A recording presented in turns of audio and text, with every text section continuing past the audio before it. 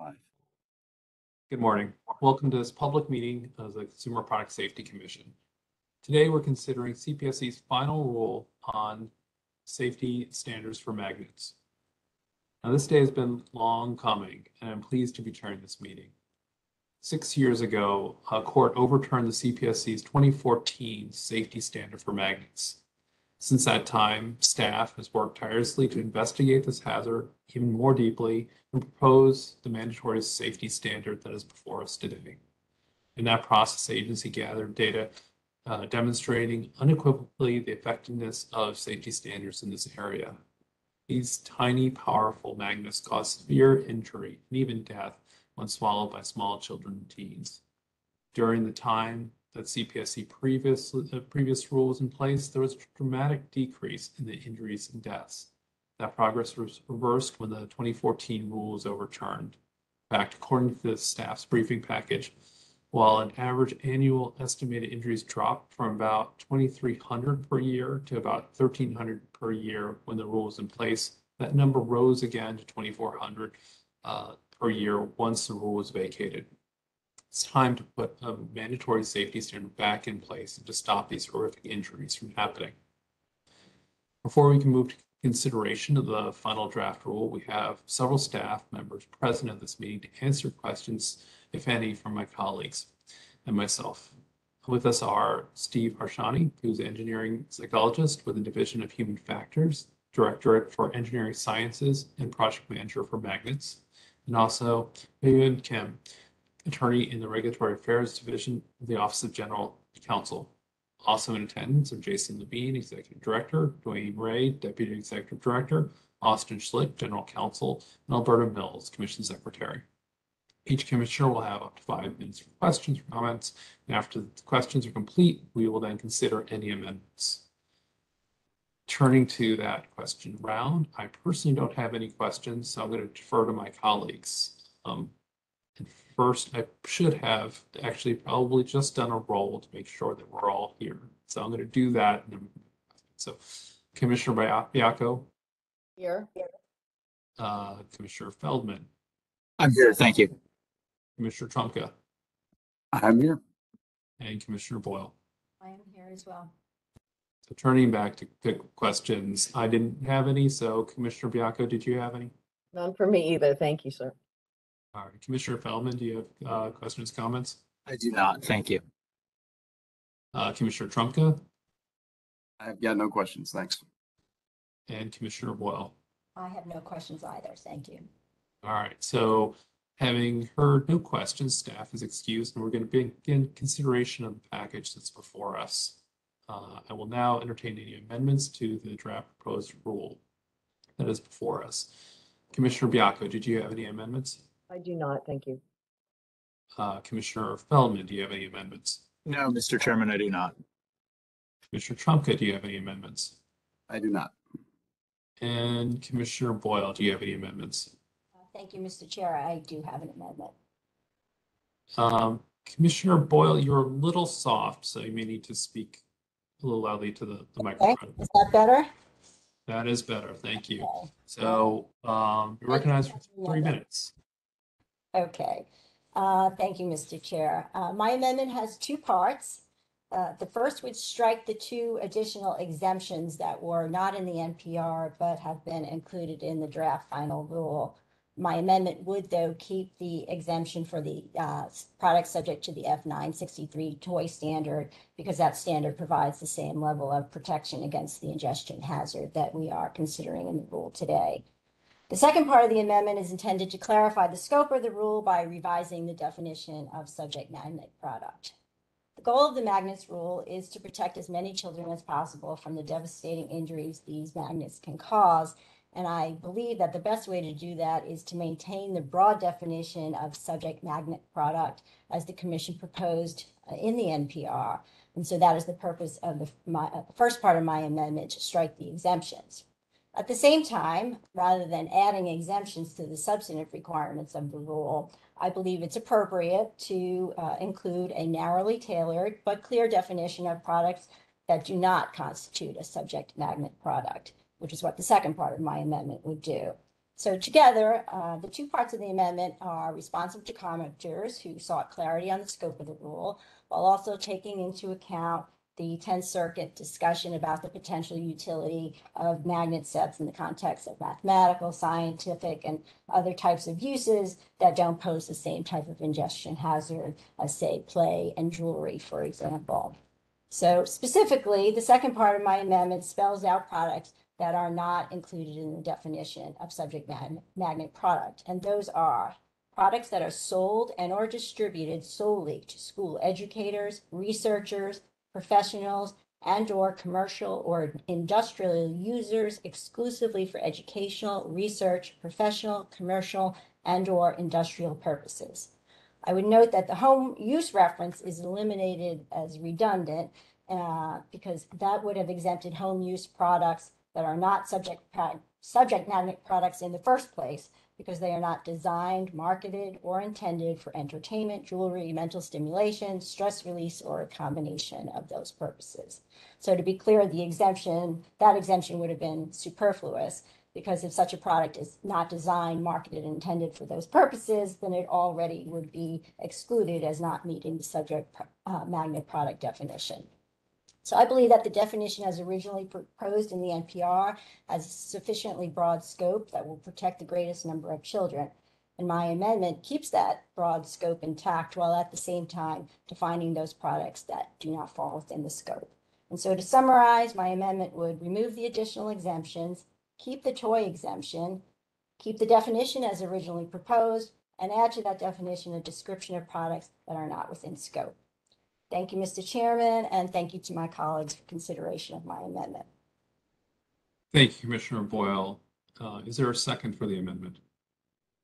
Second. Second, Having heard a second, we'll now move to consideration of Commissioner Boyle's amendment. Um, Other commissioners will ask questions, make any comments with respect to the amendment, and then we'll come back to Commissioner Boyle at the end. Each commissioner will have up to five minutes per round. We can have multiple rounds if necessary. So I recognize myself for five minutes. Um, And I'll first of all thank Commissioner Boyle for this amendment, for her work since uh, the briefing in August to perfect the language and make sure that the definition of subject product is clear and precise, providing clarity for both industry and consumers alike. Um, As I understand the amendment, it will maintain strong protection against magnet products that are demonstrated to create an ingestion hazard. But at the same time, ensure to the extent that there may be valuable uses for high power magnets that they've not been, that have not been associated with ingestion incidents, uh, such as research instructions, those uses can continue. I think this will strengthen the rule and actually be helpful as we go forward if this rule is challenged again. So I'm glad to support this amendment and hope that my colleagues will do so as well. Uh, That, I turn to Commissioner Baiocco. Thank you, Mr. Chair, and thank you, Commissioner Boyle, for the amendment. I think it's necessary. I think uh, there was a little bit of a um, strain uh, amongst the commission with the way the exemptions came in. I do think it needs to be narrowed, um, and I will support it. I just have one clarifying question. The term mental stimulation, that that that is really meaning something to keep you busy, like uh, uh, and to pay attention to. There's no physical stimulation with these magnets, correct? I mean, that is my understanding, and obviously in the context of enforcement, staff would be looking at products in a, on a case-by-case basis in terms of what that um, uh, would mean in a partic, in reference to a particular product.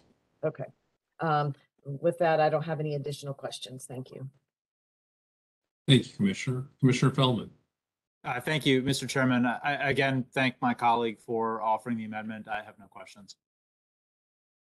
Commissioner Trumka. Again, and Commissioner Boyle, thank you for this amendment. Uh, we needed it. And I think the exemptions that, that were proposed, uh, in the final rule up to us, I agreed with the underlying purpose. I mean, we want to allow any legitimate research and instructional use out there. Uh, but as they were originally drafted, there was too much daylight for bad actors to try to repackage kids' toys as something that they weren't. Your amendment slams the door on that possibility. The way that you've crafted it, it allows narrow categories of legitimate use to continue, but it eliminates those dangerous situations where kids would come into contact with these magnets. Uh, you know, with this amendment, we're only allowing products sold to specific adults through narrow channels for specific purposes. and we still go above and beyond the directive that we received from the court. So with this amendment, we've got a very strong rule that will keep kids safe, and I'm very much in favor. Thank you. Thank you, Commissioner. Uh, Commissioner Boyle, did you have anything further to say on your amendment? Uh, no, Mr. Chairman, just to thank my colleagues for their support and consideration. That we're going to move to a vote on the amendment. Commissioner Baiocco, how do you vote? I vote yes. Commissioner Feldman, I vote yes. Commissioner Trumka, I vote yes. Commissioner Boyle, Yes, and I vote yes as well. The yeses are five, the noes are zero, and the amendment uh, by Commissioner Boyle is adopted. Are there any other amendments?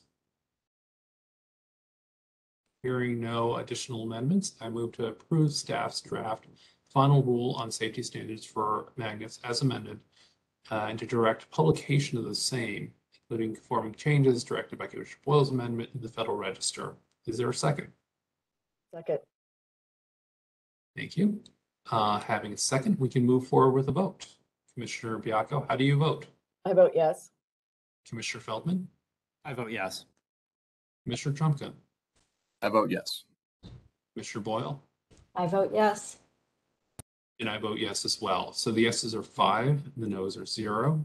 The motion to approve staff's final, uh, final rule as amended on safety standards for magnets passes. The draft final rule as amended has been approved and shall be published in the Federal Register.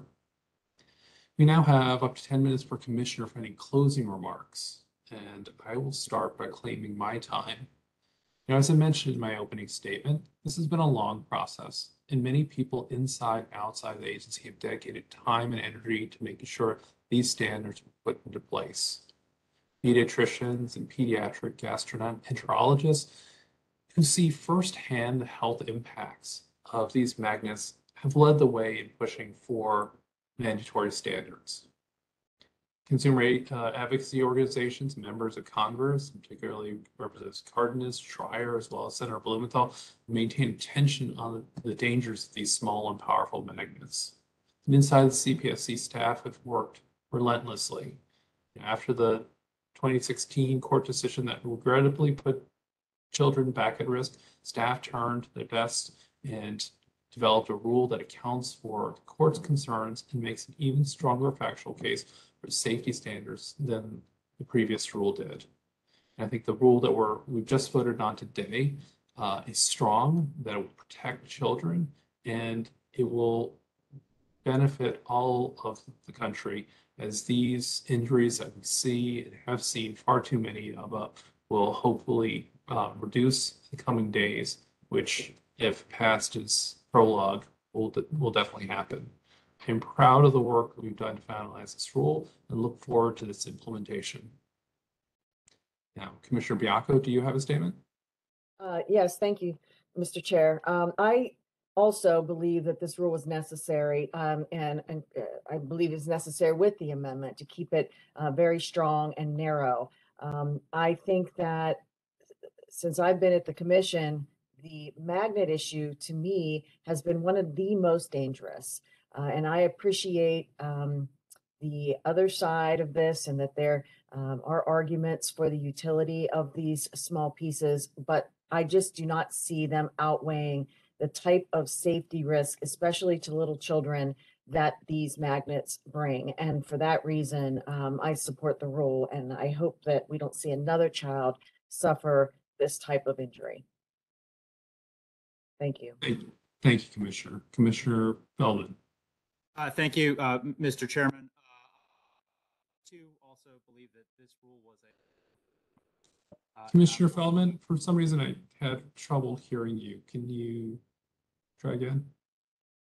How about now? I'm not. Are other people having trouble hearing Commissioner Feldman? Yes. So it's Yeah. not just me. You were fine a minute ago. Now? It's very soft. Well, I'm not sure what's going on. Uh, I, I Now I have no hear you comments. perfectly. Go ahead. Oh, well, thank you.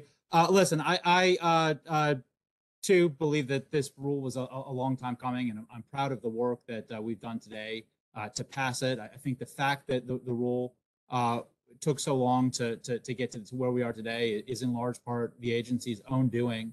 Uh, this whole experience uh, should be a lesson in uh, uh, the fact that uh, in, in pursuing this type of regulatory activity, we need to make sure that the agency's actions are underpinned by sound data and science and comply with the, the metes and bounds of, of our statutory directives. Uh, But I'm glad that we were able to get to, to where we are. I think the rule that we passed today is going to save lives. So I appreciate uh, all, all the work agency staff and my colleagues uh, have- have put into, to getting us to where we are today. Thank you, Commissioner. Commissioner Trumka? Thank you, Mr. Chair. And, and I want to clarify one thing. Uh, Mr. Chair, you've now accused both Commissioner Boyle and Commissioner Feldman of being a little soft. And I want to clar- we're- clarify, we're talking voice only as it's coming over. You've both proven you're tough as nails today. So, uh, uh, but, but with this rule, I, look, thank you for, to, to everyone who's worked on it. It, it's been an unnecessarily long road. But I'm glad that we're resolving this hazard once and for all. And, and it's sad to think that this agency already solved this problem once uh, before we had two judges step in and set aside the agency's expertise, substituting their own personal desire for deregulation at cost. And and here there was a very very clear cost. Real people, mostly kids, were hurt by that action in horrifying numbers. And that court delayed justice, but it can't prevent it. And so I'm proud of this agency's perseverance and its empathy. And while they might not have cared about how their actions hurt people, we do. And this agency has proven that when there's a real problem to solve, we are not easily deterred. So thank you to everyone for sticking with this. This rule is going to prevent gruesome injuries uh, to children. So great work, everyone, and thank you. Thank you, Commissioner. Commissioner Boyle? Thank you, Mr. Chair, and thank you to my fellow colleagues for approving this important rule today. And of course, my immense thanks uh, and appreciation goes to the CPSC staff who have worked tirelessly, not only on bringing this rulemaking to fruition today, but for their dedication, as has been said, to this issue for well over a decade. You stuck with it, and because of that, lives will be saved and devastating injuries will be avoided. While we do at CPSC makes a difference using our regulatory authority makes a difference. And if there was ever any doubt, the tragic history of magnet injuries to infants, toddlers, and teens over the course of the past 15 years or so surely proves that. As has already been stated, but I think bears repeating, the injury trends that occurred before, during, and after the agency's first magnet rulemaking are eye-opening. For the period 2010 through 2013, before announcement of the magnet sets rule, CPSC estimated that there were approximately 2,300 magnet ingestions treated annually in emergency departments. That number dropped to 1,300 from 2014 through 2016, which corresponds to the year the rule was announced and in place. And after the rule was vacated, that number shot back up to approximately 2,400 from 2017 through 2021. The rule we have adopted today will make a difference. It will make a difference to infants and toddlers who, as we all know, put things in their mouths in the normal course of development. It will make a difference to older children and teens who experiment with piercings. It will make a difference to families who will be devastated by magnet ingestion injuries to their children, which can be lifelong and life altering and even fatal. It makes a difference to a severely burdened healthcare system that treats these patients. Through our actions today, we are reaffirming our commitment to protecting the most, the most vulnerable among us, children, from this unique hidden hazard. And let me repeat, CPSC staff makes a difference. We are able to act today because of the dedicated CPSC staff. More than a decade ago, staff identified magnet ingestions as an emerging and urgent issue and presented persuasive data on the need to act. And we are acting today because the devastating injuries to children demand such action. And while I certainly would have preferred that the agency's first magnet rulemaking remain in place, I'm gratified that the commission is using its regulatory authority to act today so that once again we could see a downward trend in these horrific injuries. Thank you, Mr. Chairman. Thank you, Commissioner. And thanks again to staff and my fellow commissioners for work, this, their work on this final rule. With that, this concludes today's decisional meeting of the Consumer Product Safety Commission. Thank you.